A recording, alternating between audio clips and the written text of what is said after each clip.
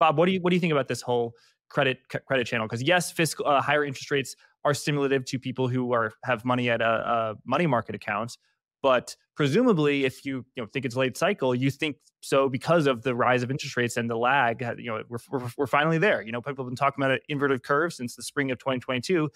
It's been a long time, um, and that's you know presumably I presume why you think it's a late cycle. We we've seen credit meaningfully slowed actually last year.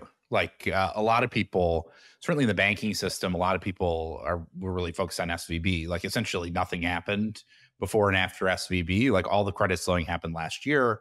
Um, you know, we went from banks in 2022 extending credit at a very rapid pace to basically zero um, by by early 2023, and that's reflect that's a typical macroeconomic dynamic that occurs uh, when you get a tightening.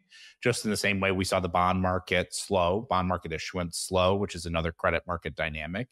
Um, but you know, as as Mike points out, there's there's um, there's still the sort of uh, reasonable amount of liquidity in the system, and combined with um, with uh, a set of financial asset infrastructures that don't force mark to market uh, are creating what you know what has been a bit of a boom in the private credit space um, that is sort of continuing the cycle um, you know on the margin and and maybe not even really continuing the economic cycle so much as holding up asset prices particularly in illiquid securities. But for those folks who have been around a little while and have seen this dynamic play out which is you know lending the incremental, the last lending the last dollar to the soon to be bankrupt entity, we know how this ends, which is, you know, you you have good marks for a few months or a few years, and then you lose your shirt on.